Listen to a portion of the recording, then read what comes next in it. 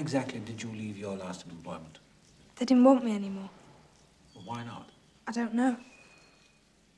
They just didn't want me anymore. Would you please wait outside?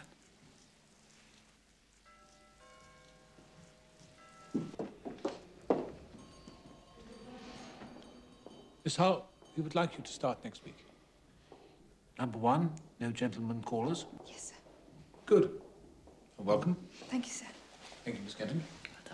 Lizzie, you finished the lavender bags? Yes, Miss Kenton. Good.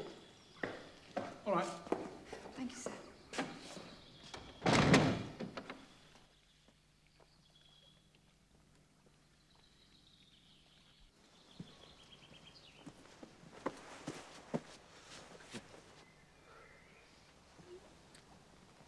Charlie. Oh.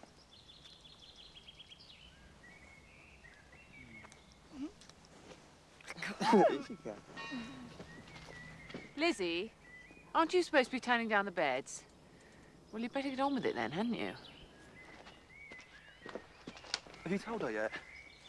Well, you'd better get on with it then, hadn't you? Charlie, what can I say to her? She'd never understand about us. Why wouldn't she?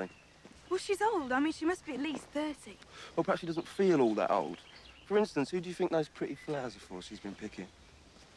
Come here. Give us a kiss.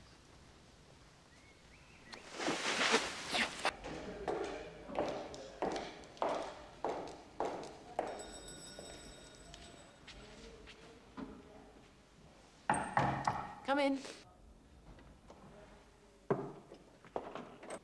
I'm wanting to give him my notice, Miss Kenton, please. Why? Charlie and me, we're getting married. Have you thought about this carefully? Yes, Miss Kenton, I have. I think you have a fine career before you if you stick to it.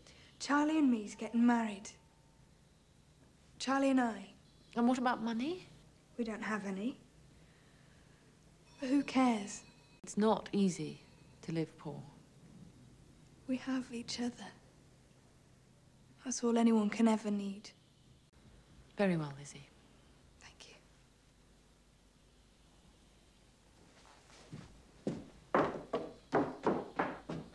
Good luck.